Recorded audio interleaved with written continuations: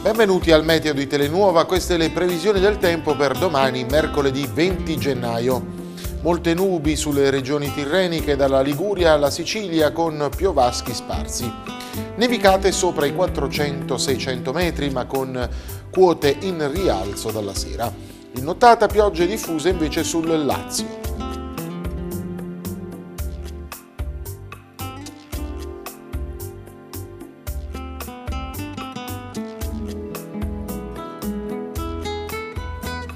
In Campania la perturbazione si avvicina con tendenza a portare piogge serali e freddo pungente. Le temperature però dal giorno successivo saranno in lieve aumento. Venti anche sostenuti da nord-nord-ovest con mare molto mosso.